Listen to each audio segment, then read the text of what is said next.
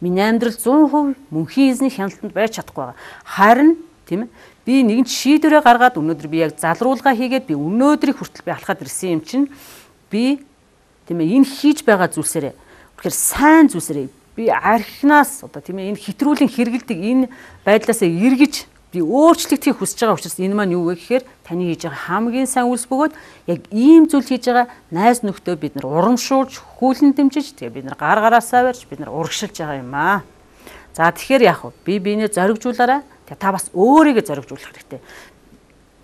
Мөнхийн эзэн бидэнд хайр хүч чадал зоригийн сүнсийг өгсөн гэж 2 дугаар Петр номдэр бичигдсэн байдаг. Тийм учраас та хулчигаад, та айгаад, та эргэлзээд байгаа бол тэр хүчийг өгч Есүс Христийн хүчээр та яг энэ зүйлийг хийж чадах болно гэж би таны урамшуулж байна. За тэгвэл цаашаа бид нар явъя тийм ээ. Тэгвэл энэ зүйлийг заавал хийх бас шаардлагатай юу? Тэгэхээр зэрэгс бид нар энэ зүйлийг хийх шаардлагатай байгаа. Яагаад? Яагаад гэвэл бид нар хин нэгэнд гомдсон, бид нар хин нэгнийг хохироосон тэр зүйлсээ бид нар зүрх сэтгэлдээ тэгээд аваад явахд энэ нь яадаг вэ гэхээр миний зүрхийг таны зүрхийг дарж яадаг учраас. Тэгээ энийг бид нар стресс, одоо дарамт, өстой нэрээ хэцүү байдал зүрх сэтгэлийн шарах гэдэг янз бүрийн үгсээр нэрлэдэг.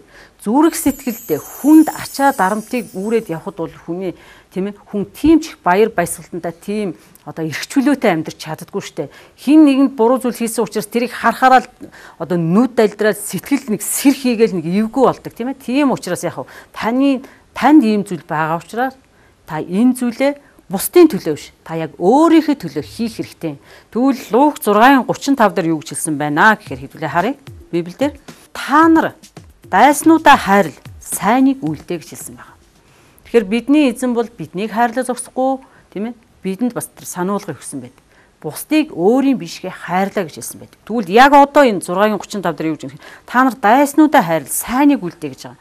Тэгэхээр бид нар архитектийн үйл явц бидэнд яадаг вэ? Бид нарыг гэр бүлдээ хүртэл одоо биднийг дайсагналцах ийм одоо уур амьсгалыг бүрдүүлдэг. Яадгүй гэхээр хайрлаж дурлаж тийм ээ харж хамгаалах ёстой хүмүүсээ архитектийн энэ эмгэг энэ архийг хэтрүүлийн хэрэгэлдэг энэ буруу зан авираасаа болоод бид нар хохироож гомдоогоод тэднийгээ үргэлж яддаг. Дарамтлсан. Тэдэнтэйгээ үргэлж харилцаа алдагдсан байгаа учраас яг үнэ хэлэхэд архины асуудлаас болоод нэг нэгнтэйгээ бид нар бүр дайсгансан тийм харьцаанд хүрсэн байдаг. Тэгээд энэ нь яадаг вэ гэхээр энэ үзэн ядалт энэ зүрх сэтгэлийн хорслоор илэрч байдаг. Гэтэ энэ нэг юм архиа ууж яваад үхээсээ зүгээр манай удамд хизээч юм юм байгаагүй гэд хин нэг ярьж байгаа бол энэ бол дайсагнал өгөөд энэ бол хорсол Тэгээ энэ асуудлаа шийдэж чадахгүй байгаа учраас яах вэ гэхээр бүрдэж бий болсон тэр харьцаа байна. Харин эзэн бидэнд хэлж байна. ертөнцийн эзэн биднэрт дайснуудаа ч хайрлан сайныг үлдээ гэж. Тэгвэл Үнэхээр эдгэрлийн баяр хөөрийн энэ алхмуудаар яваад сайныг үлдэж яваа ахан дүүс чинь танаас ирээд уучлалт хүсгээд та нар ч гэсэн тэдэнд мөн бас сайнаар хандаасай. Тийм учраас энэ зүйлийг хийснээрээ юу вэ гэхээр бусдын төлөө биш та өөрийнхөө зүрх сэтгэлийн тэр ачаа дарамтнаасаа салж Христийн доторх эрх чөлөө баяр баясгалан амар тайванд хүрэх боломжтой учраас та үнийг хийгэрээ энэ нь таны төлөө илүү их тустай юм аа. Тэгээ зарим хүмүүс боддог би хин нэгний өмнө очиж заавал ингэж би уучлалт хүсэж юм уу би танд буруу зүйлийг хийчихье гэж ингэж доошоо орох шаардлага заавал байгаа мó гэж. Тэгвэл бид архиуж бид нар дампуурч явахдаа бид нар яаж доошоо орж исэн. Тэгтээ ичээгүй шүү дээ Согтоо явж байхдаа ичигчгүй тийм ээ. Салбайтал хамаг хувцас урдсан, уранхаа дээлтэй, туранхаа царайтай. Тэгээд өөрийнхөө амьдралыг хамгийн доод түвшинд аваачихдаа ичиж заваагүй юм чи. Өнөөдөр та дээшээ гарахтаа битээ заваарай. Та залруулга хийхдээ битээ заваарай. Яад гэвэл та эрүүл зогсож байна. Тэгээд та бүр өсөж өндийхээр та тэмцэж байгаа учраас таны тэрийг хараад таныг хин нэгэн буруутгахгүй харин таны араас маш олон хүмүүс даах болно. Тийм учраас та тийм ээ нэгэн цагт архиар хүмүүсийг уруу татаж, уруудаж дороотож байсан бол одоо та бусдыг тийм ээ гарахт нь бас туслагч байх тэр нэгэн бол чаднаа гэсэн үг байна.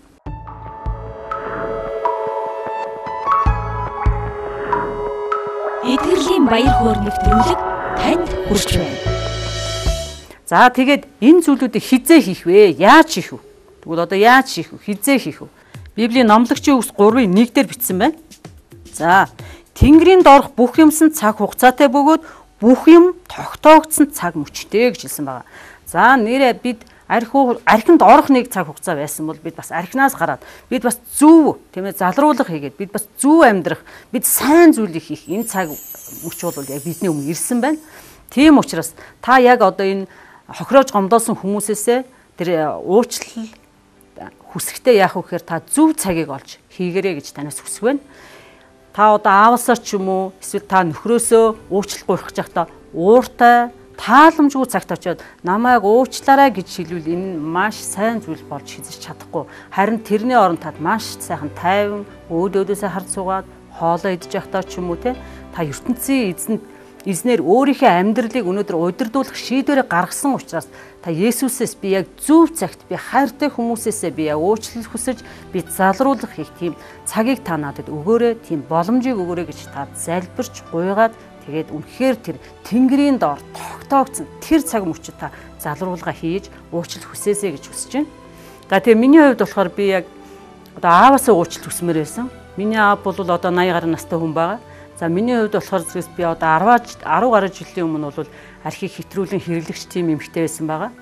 Тэгээд надыг өсгөж өндөлгээд өнөөдрийг хүртэл авч явсан тэр хайртай аавыгаа би одоо аавынхаа нүдэн дээр хүл одоо арх ууцсан, согтуу, илдэв бусын юм ярьсан, найгаж гангасан, амьдралаа уруудуулсан энэ бүх зүйлээ одоо уучлалт хүсэж залруулах хийх юм өч надад тулж ирсэн байгаа.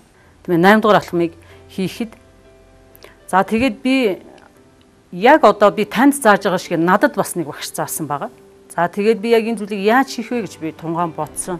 Тэг нилээд бодсон. Тэгээ багш маань надад та яг зөв цагт та аваасаа уучлах хүсэрэ гэж хүссэн байгаа. За тэгээд би бодож ирсэн ямар цагт хэлвэл зүгээр вэ? Ингээ хэлэх гэсэн ерөөсөө хэлж чадахгүй маш удаан хугацаанд байсан. За тэгээд бид нар үүнхээр арх ууж явах үедээ их хэр зоригтой, их л авьяас чадвартай, их л мундаг хүмүүс байд.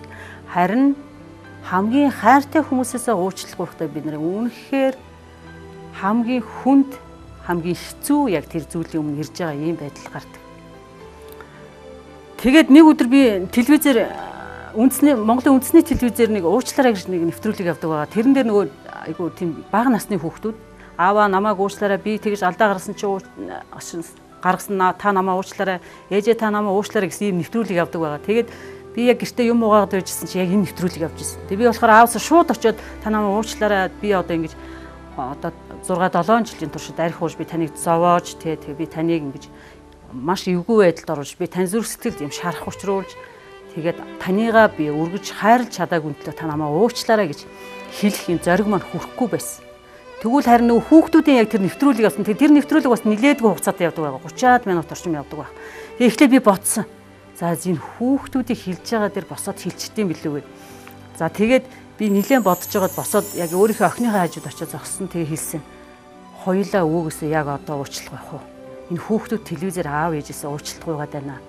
Ерөөсөө хийж би уучлах чадахгүй байгаа учраас яг энэ нэвтрүүлгээр нэвтрүүлгийн яг энэ одоо оршуугаар хоёлаа одоо өвгөөсөө би ааваасаа уучлах чи өвөөсөө уучлалтгүй хоёлаа хамтдаа. Тэгээд яагаад гэвэл би бас ганцаараа ингэж хэлэх гэсэн нэг л зориг зүрх зориг маань хүрхгүй байсан. Тэгээд хүүхдээ хань татсан. За тэгээ хоёлаа өвөг хааж үзсэн. Манай орон дээр хөвтөж байсан. Тэгээ би очиод хэлсэн аваа та намайг уучлаарай би тэгээ олон жил таныг би зовоосон байна. Тэгээд өнөөдрийг хүртэл та намайг ирүүлэн гэсэн. Тэгээ та намайг бас хайрлж өсгөж өндөлгөө тэг өнөөдөр ч гэсэн та надтай хамт байгаа гэвэл би танд үнэхээр баярлж байна гэд ингээ хэлсэн. Эхлээд манай яг юу гэж бодсон бэ гэхээр тоглож ийн гэж бодсон. Тэгээд бит хоёр лөө ингээ нэлен гайхсан янзтай харсан. Тэгэнгүүт нь би яг гайхаад байна гэдгийг мэдсэн учраас яасан хэр үргэлжлүүлээ дахиад хийсэн. Яг тэр үед үндсний телевизээр нөгөө нэвтрүүлэг явж ирсэн. Тэгэхээр би үгүй бид нар чин сэтгэлээсээ хэлж байна. Үннээ яг үннээр хэлж байна. Уучлаарай. Арх ууж таныгаа гомдоож таныхаа зүрх сэтгэлд маш их шарах сорыг өгчүүлсэн биднийг уучлаарай. Намааг уучлаарай аваа гэдгсэн. Манай жоох нүрэн гисгээ дарсан байсан. Тэгээ яг тэр гарынхан цаагуур ясан гэхээр миний аавын нүднээс нүлмэс асгарч байгааг би харж ирсэн. Яагаад гэвэл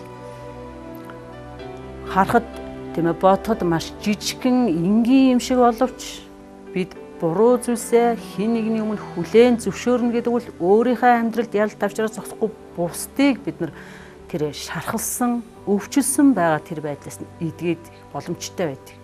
Тэгэхээр таа ч гэсэн яг энэ зүйлийг яг зөв цагт нь хийгэрээ гэж би таныг уриалж байна. За тэгээ Библиэр Филиппер 2-ын 4-дэр ингэж хэлсэн байна. Хүн бүр зөвхөн хувийн ашиг сонирхлыг бус харин бусдын ашиг сонирхлыг хараа гэсэн. Тэгэхээр залруулах хийнэ гэдэг маань юу вэ гэхээр би өөрөө одоо өнөөдөр ямар ч үс Есүс Христийн хүчээр архины архийг хэтрүүлэн хэрэгэлдэг энэ асуудлаа шийдвэрлэх боломжтой боллоо гэж хувиа бодох биш бусдын эрх ашигыг бас харах нөгөө тал байна гэсэн. Яагаад гэвэл архитектийн эргэн тойронд тийм нэг хүн архиулж яхад ард нь 20 орчим хүмүүс архины давхар хамааралд зовж шаналж байдаг. Тэгвэл тэр хүмүүсүүдийнхээ төлөө тийм ээ яг Есүс Христийн үгийн дагуу хүн бүр зөвхөн хувийнхаа ашиг сонирхлыг бус харин бусдын ашиг сонирхлыг хараа гэсэн. Тэгвэл би эдгэрч өөрчлөгдөж гэнэ гэдэг маань бусдыг би хохироож гомдооцсон юм чинь тэдний ашиг сонирхлыг одоо би хамтд нь хадгалж би бас тэр хүмүүсийн зүрх сэтгэлийн шарахыг эдгэхийн төлөө би яг энэ ярьж байгаа зүйлээ залруулга буюу энэ зүйлээ хийх хэрэгтэй юм аа гэсэн үг. 8 дугаар алхмаар амжилтаа алгасан үзэгч танд баярлалаа. Бас шийдвэр гаргаж байгаа танд амжилт хүсье. Боломжгүй зүйл гэж байхгүй гэдэг би бас дахин хэлмээр байна. За тэгэхээр энэ алхмаас та өөрчлөлт гэж юу юм бэ? Өөрчлөлт хийснээр хүний амьдралд ямар өөрчлөлт гардыг бэ гэд олон гайхамшигтай зүйлийг ойлгосон гэдэгт итгэлтэй байна.